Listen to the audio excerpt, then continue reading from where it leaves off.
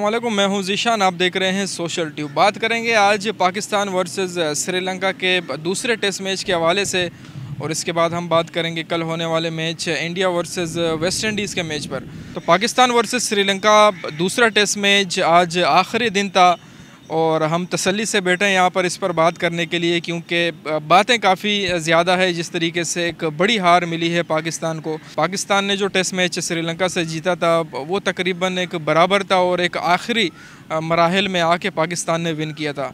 जबकि इसमें 200 से ज़्यादा स्कोर से एक बड़े मार्जिन से पाकिस्तान को हार मिली है। अब यकीनन जब एक टीम जीतती है तो जो उनकी ख़राबियाँ होती है, वो छुप जाती है। नज़र सिर्फ़ एक जीत आती है, अच्छी परफॉर्मेंस आती है, होना भी ऐसा चाहिए। जिस तरीके से पहला टेस्ट मैच हुआ, इसमें अब्दुल्ला शफीक हमें एक पॉजिटिव इनिंग उसमें नज़र आई और इसके अलावा हमें बाबर आज़म की परफॉर्मेंस भी बड़ी ज़बरदस्त नज़र आई। लेकिन इसके बावजूद भी पहले टेस्ट मैच में ऐसी ख़राबियाँ थी कि जिस पर काम कर लेना चाहिए था। लेकिन दूसरे टेस्ट मैच में भी हमने न सिर्फ़ उन ख़राबियों पर काम किया, बल्कि बदकिस्मती से शाहिन शाह अफरीदी भी इंजर्ड हुए और उसका एक, और उसका नुकसान भी हमें काफ़ी उठाना पड़ा दूसरे टेस्ट मैच में। तो जिस तरीके से मैंने कहा कि हार मिली है यकीन अब जो खामियाँ हैं, अब वो डिस्कस होंगी। बातें आना शुरू हो गई सोशल मीडिया पे मीडिया पे जो स्पोर्ट्स जर्नलिस्ट हैं, शान मसूद का नाम ले रहे हैं, काफ़ी लोग, अज़हर अली से नाराज़ हैं, काफ़ी लोग बाबर आज़म पे बरहम हैं कि वो जब मुसलसल हसन अली को चांस देते हैं, उनको अपने स्क्वाड में जगह मिलती है तो बाकी जो प्लेयर हैं उनको क्यों नहीं मिलती? और इसके अलावा इमाम हक की परफॉर्मेंस पर भी सवालिया निशान है, अज़हर अली की परफॉर्मेंस पर भी सवालिया निशान है। बॉलिंग ऐसी रही नहीं, जिस तरीके से पाँच आउट हो चुके थे लीड सिर्फ़ वन सिक्सटी की थी पाकिस्तान के ऊपर और श्रीलंका के पाँच खिलाड़ी आउट थे। वो ऐसा पॉइंट था, वो ऐसा वक्त था कि पाकिस्तान के पास अगर स्ट्रॉन्ग बॉलिंग होती या वो श्रीलंका पर प्रेशर डालने में कामयाब होते तो यकीनन ये टारगेट 200 से बमुश्किल जो है ना, ऊपर जाता। लेकिन उनके जो टेल एंडर्स है और जो लोअर मिडल ऑर्डर जो बैट्समैन है, उन्होंने ऐसी बैटिंग की, ऐसा आउट क्लास कर दिया पाकिस्तान को कि पाकिस्तान को 400 प्लस रन्स का एक बड़ा पहाड़ जैसा हदफ मिला। जिसको देखकर ही लगता है कि जब कोई टीम उसे चेस करने के लिए ग्राउंड में आती है, यकीनन प्रेशर होता है उस पर। कल के दिन, यानी कि चौथे दिन हमें ऐसा लग रहा था कि पाकिस्तान चेस की तरफ़ जा रहा है।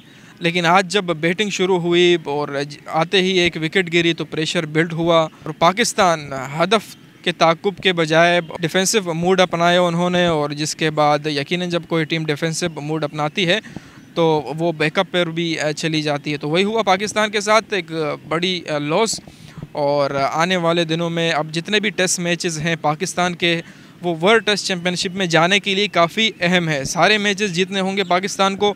याद रहे कि पहला टेस्ट मैच श्रीलंका से जीतने के बाद पाकिस्तान की, अब रैंकिंग नंबर थर्ड हो गई थी। श्रीलंका चौथे नंबर पर आ गई थी। लेकिन आज का मैच जो श्रीलंका जीती है, सीरीज़ एक एक से बराबर हो गई। ये मैच अगर पाकिस्तान ड्रॉ करने में भी कामयाब होता तो यकीनन कच्चा साइन होता पॉइंट्स टेबल के लिहाज से पाकिस्तान के लिए। तो अब टेस्ट फॉर्मेट में पाकिस्तान के लिए काफ़ी चैलेंजेस हैं। सिलेक्शन पर है, बॉलिंग लाइनअप पर है, और दूसरी जानब अगले साल वर्ल्ड टेस्ट चैम्पियनशिप भी है।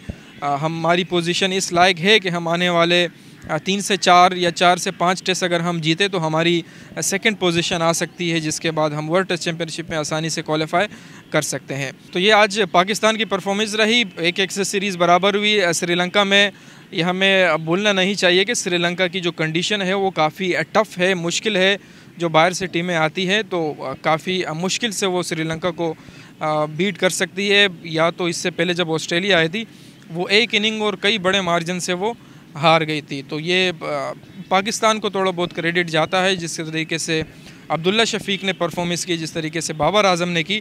तो फाइट थोड़ी बहुत हमें दिखी है, बाकी टीम कॉम्बिनेशन और बॉलिंग लाइनअप में जिस तरीके से दूसरे टेस्ट मैच में शाहिन शाह फरीदी का इंजर्ड हो जाना, ये पाकिस्तान के लिए पूरा साबित हुआ। तो अब हम बात करते हैं कल होने वाले मैच पर। तीसरा ODI, India versus West Indies. मौसम ने मैच को थोड़ा सा मुतासर किया। चांस था वेस्ट इंडीज़ के पास कि वो कहीं ना कहीं कम बैक करे। सीरीज़ को दो एक से एंड करे। लेकिन शेखर धवन एंड कंपनी को ये क्रेडिट पहुँच गया है कि उन्होंने क्लीन स्वीप किया है वेस्ट इंडीज़ को। वेस्ट इंडीज़ की परफॉर्मेंस ने काफ़ी हैरान किया है। पहले मैच में सिर्फ़ फाइट हमें दिखी। पहला मैच इतना ज़बरदस्त इंटरेस्टिंग हुआ। इसके अलावा हम दूसरे मैच को भी हम ज़बरदस्त कह सकते हैं। लेकिन तीसरे मैच में हो सकता है कि बारिश की वजह से बैक फुट पे वो चली गई और जो एक फॉर्मेट होता है, बारिश ने गेम को मुतासर किया, फिर एक मखसूस टारगेट मिला वेस्ट इंडीज़ को, वो बनाने में नाकाम रही। यकीनन इस वक्त वेस्ट इंडीज़ की टीम भी एक बुरे वक्त से गुजर रही है, जबकि हम इंडिया की बात करें तो वो शेखर धवन की कैप्टनसी में सही परफॉर्म कर रही है। क्लीन स्वीप भी कर लिया है उन्होंने और अब ओडीआई की जो रैंकिंग है उसमें भी एक बेहतर पोजीशन अपना ली है इंडिया की टीम ने। अब जिस तरीके से वेस्ट इंडीज़ के साथ क्लीन स्वीप किया है, आने वाले दिनों में अब रोहित शर्मा की जो ए टीम है, उनको भी देखना पड़ेगा कि वो कैसे परफॉर्म करती है। क्लीन स्वीप करने के बाद इंडिया की रैंकिंग भी नंबर थ्री पर आ गई है। और ओडीआई में भी उनकी रैंकिंग आगे जा रही है। अब टेस्ट मैच में भी रैंकिंग वर्ल्ड टेस्ट चैम्पियनशिप के लिए इंडिया को सारे मैचेस जीतने हैं पाकिस्तान को भी सारे मैचेस जीतने हैं। हम एज अ पाकिस्तानी यही चाहते हैं कि वर्ल्ड टेस्ट चैम्पियनशिप में इंडिया और पाकिस्तान का मुकाबला हो और हम पॉइंट्स टेबल को बार बार हर मैच के बाद देखते रहते हैं कि किस तरीके से कैलकुलेशन हो के दोनों टीमें फ़ाइनल में आ सकती है। तो शेखर धवन की जो कैप्टनसी है उसके लिए पॉजिटिव साइन है क्लीन स्वीप करने में कामयाब रही। अब वेस्ट इंडीज़ के ख़िलाफ़ तो इंडिया को एक जीत मिली है। उनके यंग खिलाड़ियों ने भी परफॉर्म किया है और शेखर धवन ने ख़ुद भी पार्टिसिपेट किया है। उसने स्कोर किया है। पहले इनिंग में भी 97 स्कोर करने में कामयाब रहे थे। इसके अलावा जो उनकी यंग स्क्वाड है, वो भी परफॉर्म कर रही है। ओपनिंग भी परफॉर्म कर रही है और मिडल ऑर्डर में भी बैट्समैन परफॉर्म कर रहे हैं। और बॉलिंग लाइनअप भी बेहतर है बनस्बत वेस्ट इंडीज़ के। वेस्ट इंडीज़ की बॉलिंग लाइनअप हमें थोड़ी सी वीक लगी जो क्रूशल मोमेंट पे उनके बॉलर बॉल मिस नहीं कर पा रहे थे दूसरे ओडीआई में और इंडिया रन चेस करने में कामयाब रही थी। और पहले ओडीआई में भी इंडिया की जो बॉलिंग लाइनअप है, जिस तरीके से आखिरी ओवर मोहम्मद सिराज ने आखिरी ओवर बीट करवाया और वो ओडीआई इंडिया जीत चुका था।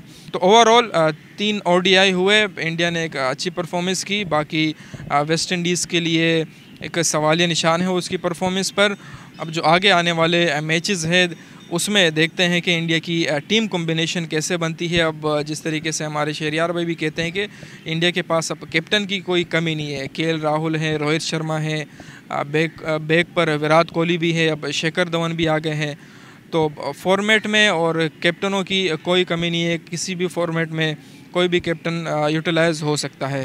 तो देखते हैं आने वाले मैचेस में इंडिया की जो बीसीसीआई है, वो किसको प्रीफर करती है, उनकी टीम कॉम्बिनेशन क्या रहती है? ओडीआई तो इंडिया ने क्लीन स्वीप कर लिया, लेकिन सबसे बड़ा जो चैलेंज होगा, वो इंडिया के लिए टी ट्वेंटी वर्ल्ड कप होगा कि टी ट्वेंटी वर्ल्ड कप में इंडिया की क्या कॉम्बिनेशन होनी चाहिए कैप्टन किसे होना चाहिए, जिस तरीके से उनके एक बड़े प्लेयर हैं, विराट कोहली उसकी जगह बनेगी या नहीं बनेगी?